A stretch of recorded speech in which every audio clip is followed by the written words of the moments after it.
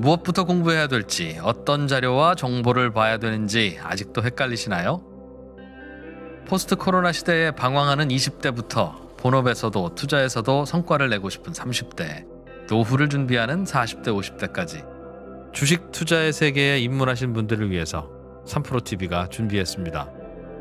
3프로TV 주식대학 봄학기 초보 투자자들의 멘토 연블리의 친절한 주식 기초 교육 어떤 기업이 돈을 잘 벌고 있는지 확인하는 법부터 증권사 리포트, 기술적 분석을 통해서 수익을 내는 법까지 염블리, 염승원 부장과 함께 한 발자국씩 나아가면서 평생 투자의 기초를 탄탄하게 다지는 시간이 될 겁니다.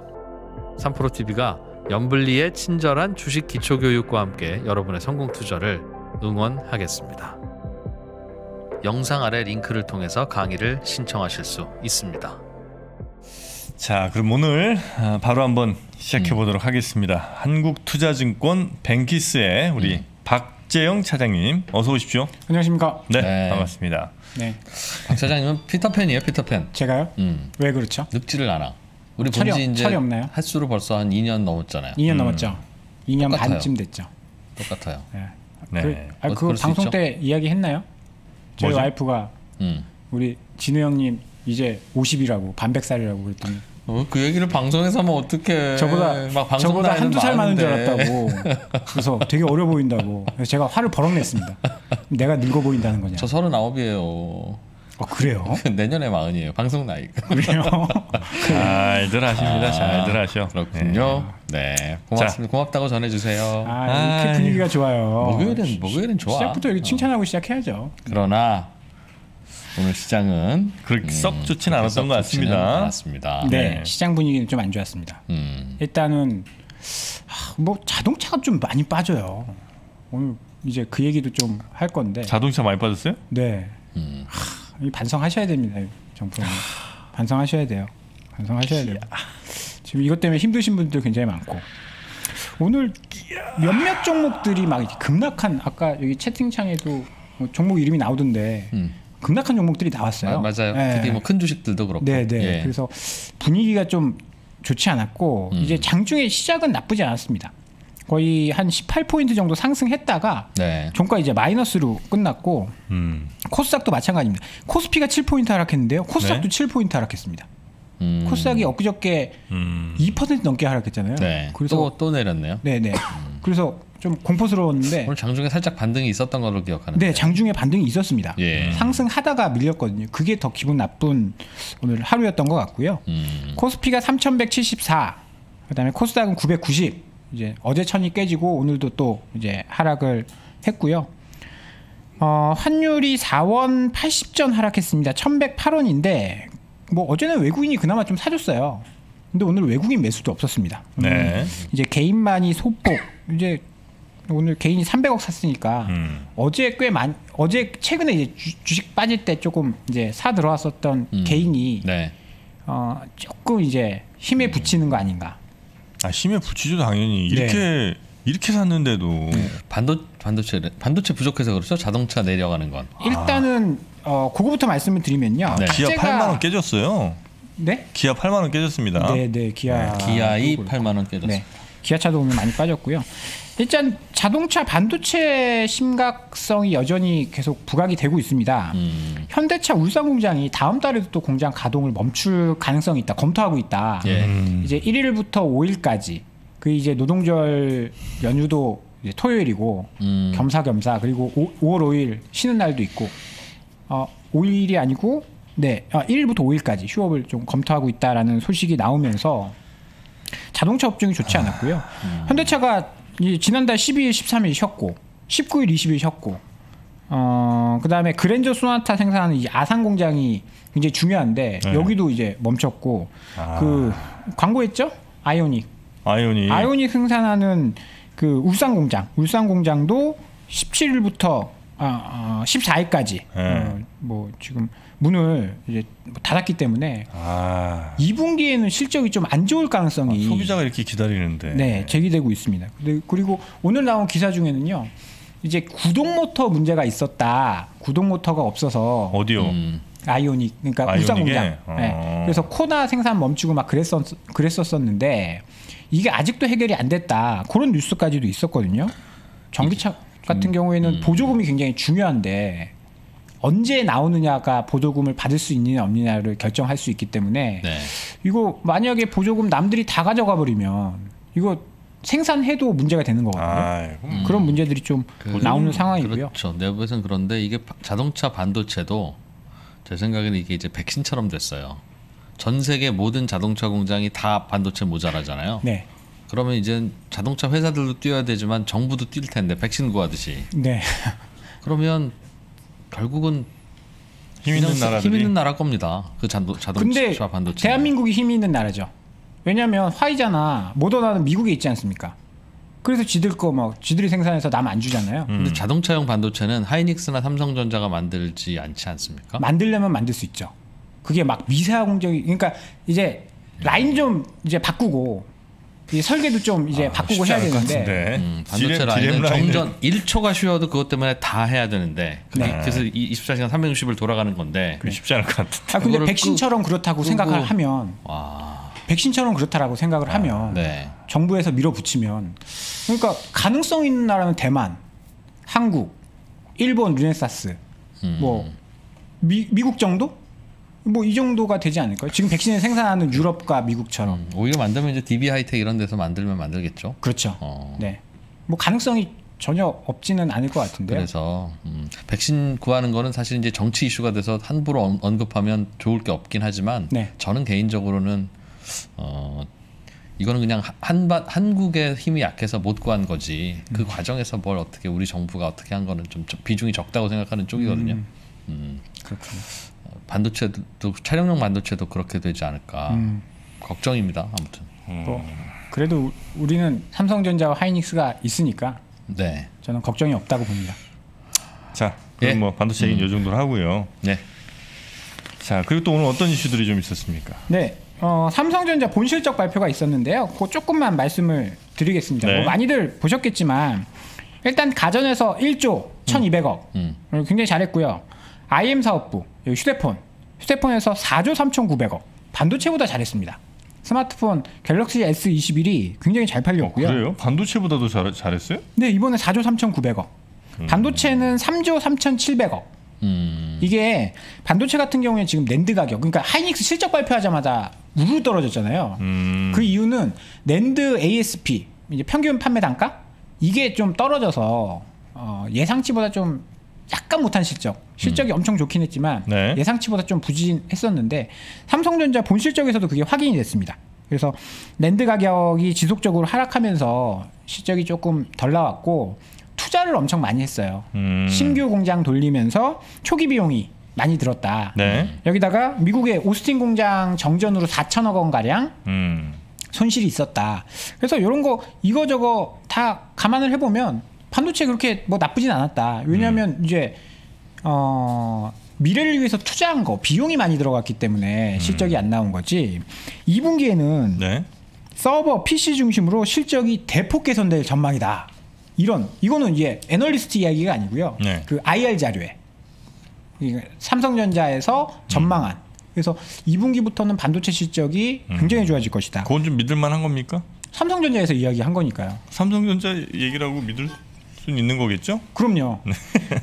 알겠습니다. 보통 학교 다닐 때 그렇잖아요. 너 엄마가 너, 반, 너 이번 시험 몇 점 정도 받을 것 같아. 그러면 어떻게 이야기하십니까? 80점 정도 자신 있으면 약간 깔지 않습니까? 엄마 한 75에서 아. 70점 정도 맞을 것 같아. 내가 할 수 있는 것보다 좀 깔고 간다. 그렇죠. 음. 그럴 가능성이 높죠. 왜냐하면 네. 이렇게 했다가 안 되면 실적 안돈 나오면. 공시 담당자 욕을 얼마나 먹겠어요. 네. 삼성전자. 얘기한 것보다 좀 더 나오는 건 상관없지만. 그렇죠. 네. 네. 어, 그래서 솔직하게 이야기합니다. IM 사업부는 2분기에 안 좋을 거다 더. 음. 왜냐하면 음. 이제 신제품이 안 나오니까. 네네네. 어, 그래서 어, 2분기는 비수기로 매출이 좀 감소할 것이다. 이렇게 솔직하게 이야기를 합니다. 대신 반도체는 좋을 것이다. 네, 그렇게 보고 있고요. 디스플레이 쪽이 이제 OLED 채택이 좀 증가되면서 앞으로 좋아질 것이다라고 했는데 조금 아쉬운 건뭐 음. 이건 지나가서 소 잃고 외양간 고치는 뭐 그런 얘기 같지만 예. LCD 사업 계속했으면 실적이 여기서도 뭐 한 1조 1조 정도 나오지 않았을까 음. 이런 생각을 좀 해보고요. 뭐 가전은 뭐 LG전자 잘 되는 것처럼 삼성전자도 프리미엄 가전이 굉장히 잘 팔리고 있다라고요. 예, 예. 실적이 어, 이렇게 괜찮게 나왔다. 그리고 이게 2분기에 지난번에 속보치 나온 거에 다시 한번 보충인 거죠? 어 그렇죠. 그 속보치에서는 그게 안 나옵니다. 사업부별 실적이 안 나옵니다. 브레이크다운이 없어요? 그냥 어. 통으로만 예. 우리 얼마 할 거예요. 얼마 나왔어요고 음. 사업부별 실적은 오늘 나온 겁니다. 네. 음. 네. 자 삼성전자 실적 확정치 발표된 게 있었고 그리고 오늘 SK IT가 네네. 청약 마감이죠 오늘이. 네 청약이 끝났습니다. 예. 어떻게 좀 하셨어요? 더- 안 했어요 저는. 아, 아, 우리 뭐- 시청자분들 뭐, 하셔야지. 뭐 하느라고 저는 못 했는지 모르겠어요. 아니 시청자분들 하셔야죠. 그 정도 돈이야 뭐 없으셔도 되잖아요. 그렇죠? 세상에 그런 돈이 어디 있습니까? 어? 난 그런 얘기가 제일 싫어. 그 정도- 뭐 주식은 여유 자금으로 해라 뭐 이런 얘기. 세상에 여유 자금이라는 게 어디 있습니까? 옛날에 그런 말 있었잖아요. 빌 게이츠가 빌 게이츠가 땅 지나가다 땅에 1원 1달러짜리 있으면 주워야 될까요? 안 주워야 될까요? 음. 그거 줍는 시간보다 그게 뭐 시간당 돈을 더 많이 벌기 때문에 음. 안 주워야 된다. 그 여기- 과, 과거에 아, 네. 과거에 어떤 그 곳에서 실험을 한 적이 있어요. 정말 네. 부자들은 어디 정도의 돈에까지 반응하느냐. 그래서 그들의 그 각각의 이제 개인 이메일을 해가지고 어디서 네. 무슨 은행 무슨 은행입니다. 언제까지 뭐 오시면 저희가 약간 오류가 있어서 그 대신 본인이 와야 되니까 뭐 2.7달러를 받으러 오세요. 뭐 이런 네. 식으로 보냈다는 거예요. 네. 트럼프가 대통령이 아닌 시절에 네. 1.5달러인데 받으러 가더라는. 진짜요? 그, 분이 약간 좀 음. 약간 이건 아니 원칙의 문제죠. 그러니까 음, 이게 네. 뭐 구두쇠고 안 구두쇠고의 문제가 아니라 음. 어, 큰 돈이고 작은 돈의 문제가 아니긴 한데 어. 내가 지금 가만히 있는 상황에서 뭘 더 다른 걸 취하는 게 아니라면 난 그거라도 음. 하러 간다. 어, 그렇기도 하고 네. 바쁜 일 조금 정리해야지 어, 그런 게 낫지. 그런 자잘한 돈그 함부로 그게 흘리기 시작하면 음. 어, 뭐 그렇다 뭐 그런 얘기일 수도 있겠죠. 어쨌든 네. 그래서 결과만 말씀을 드리면 네. 네 개의 증권사에서 했지 않습니까? 음. 미래, NH, SK, 삼성? 한투 한투예요? 예, 예. 이네 개의 증권사에서 했는데 네. 균등 배분으로 한 주를 받을 수 있는 건 SK뿐이 없습니다. 음, 조금 아쉽게도 나머지는 아 신청만 하면 한 주 받을 수 있는 거는 SK밖에 없다. 네, 네. 나머지는 이제 뺑뺑이 추첨. 돌려서 추첨해서 음. 이제 하게 됐고요. 네. 그 경쟁률은 뭐 이제 NH라든지 삼성이 굉장히 높고 받을 확률이 낮다는 거죠. 음흠. 그리고 어, 미래랑 한투가 조금 더 낮고 음. 이거 다 추첨을 돌려야 사람들이 많이 몰렸다는 네. 거죠? 맞습니다. 네. 이제 배정받은 거에 비해서 음. 굉장히 많이 몰렸다라는 거고요. 네. 이제 균등 배분 마지막이기 때문에 사람이 더 몰렸고 음. 이게 따상 가면 이게 10만 원이니까 한 뭐 16만 원 정도 버는 음. 음. 16만 원 정도 버는 뭐 네. 그런 상황이라서 한 주당. 네. 네. 한 주만 받아도 소고기 16만 원. 할만하네 진짜. 이제는 앞으로는 증권사마다 다니면서 계좌 안 터도 되죠. 맞습니다. 중복 신청 안 해도 되고. 네. 어, 좀 아쉬워하시는 분들도 있을 거예요. 어, 어찌 보면 그래서 부지런한 분이 좀 더 버는 세상이긴 했었는데 좀 네. 전까지는. 가족도 많은 사람들이 좀 많이 벌고. 아, 음. 그런데 그냥 한, 한 사람을 한 증권사만 하는 게 전 국민이 그러면 어차피 받는 돈 똑같잖아요. 네. 전 국민이 다섯 군데 다 돌아다니면서 다 이렇게 신청하면 결국은 나눠지는 물량은 똑같다고요. 네. 결국은 그러니까 안 나오잖아요. 봐요. 음. 한 주도 못 받는 거막 생기고. 아 근데 또 어. 이렇게 있으신 분들은 또 안 안 하잖아요. 있으신 분들은 자, 그렇지 않습니까? SK IT에 네. 돈이 어마어마하게 음. 몰렸고요. 네.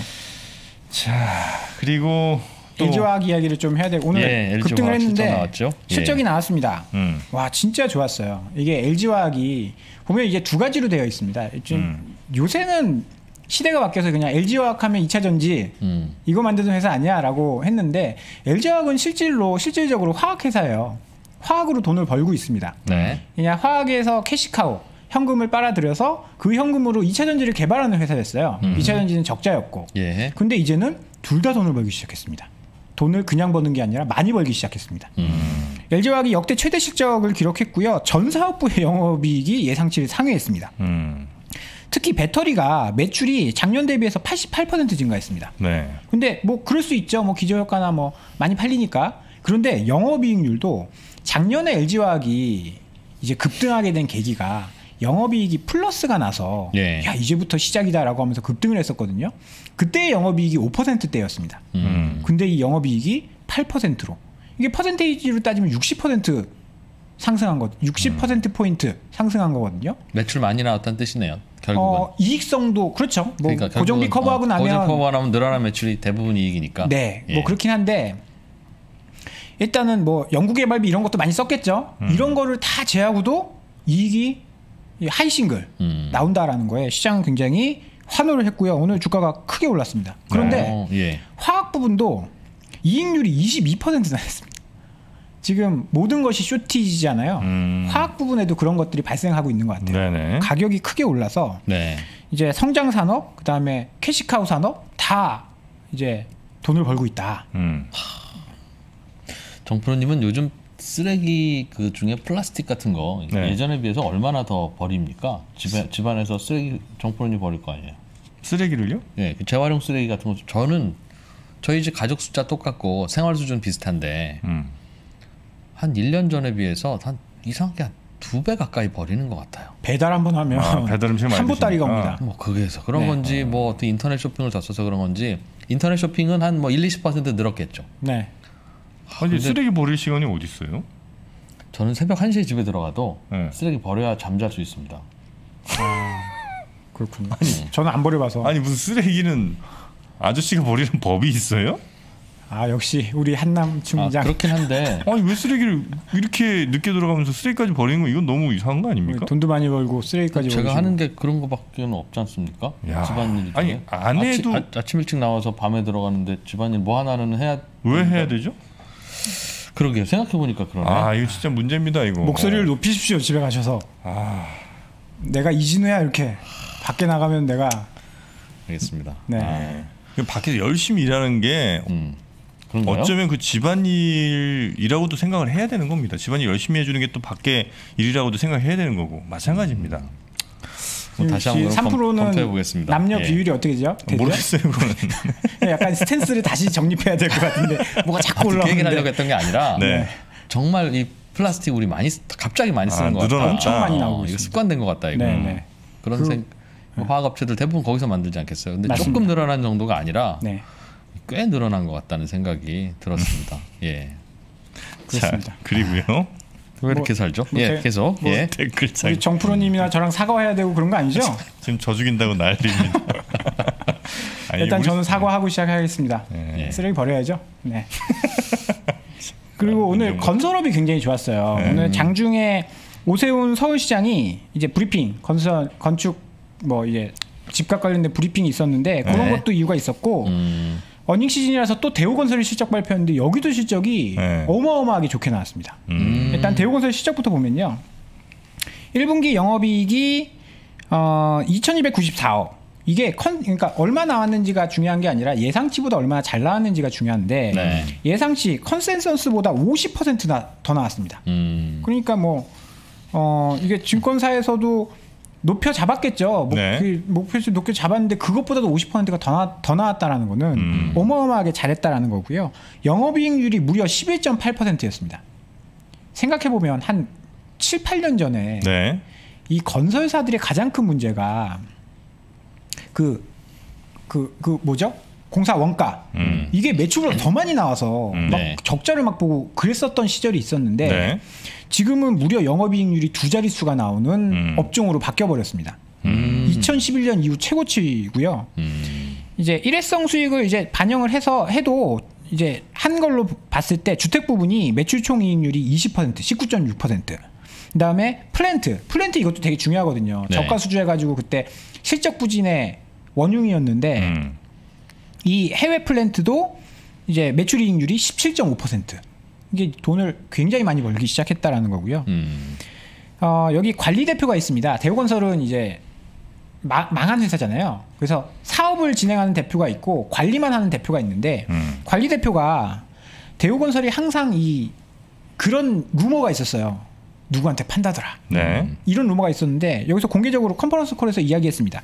K KDB 인베스트먼트 보유 지분 50.8%를 매각 대상자를 물색하고 있다. 이거 판다라는 이야기거든요. 음. 달리 생각해 보면 이 회사를 팔 정도로 정상화됐다. 업황이 좋다 이런 이야기로 볼 수 있는 거고요. 네.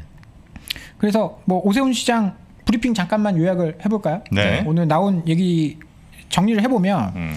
서울권 주택 공급을 위한 신규 택지 개발이 사실상 어렵기 때문에 재건축 재개발을 지원하는 정책이 음. 필수다. 네. 그래서 기자가 어, 질문을 했어요. 그, 그러면 LH 이용하실 거예요? 민간 이용하실 거예요? 아직 결정된 건 없다. 그때 그때 상황에 맞는 대로 하겠다. 뭐 이거는 뭐 가능성을 좀 열어둔 거 아니겠습니까? 네. 민간 쪽으로. 음, 재건축 재개발 할 때? 음. 네네. 그건 어차피 민간이 하는 거고 재건축 조합이 선정하는 거잖아요. 건설회사는. 근데 정부의 방향은 다르지 않았었습니까? LH를 통해서 하겠다라고 아, 해서 공공 근데- 재개발. 네네. 그것도 이 주민들이 건설회사 선택할 수 있도록 해준다고 했었어요. 음, 네. 네, 저는 잘 몰랐습니다. 음. 어찌 됐든 간에 그런 쪽으로 해서 이제 민간 건설 업체가 수혜를 받을 수 있다라고 해석을 예, 좀한 예. 것 같고요. 어, 일단은 오세훈 시장이 재건축 재개발 속도를 조절하겠다는 의지의 의지를 피력한 음. 것은 근본적으로 방향성을 바꾸게 바꾸지는 않겠다라는 걸로 해석이 되면서 네. 건설업체는 어, 긍정적이었다.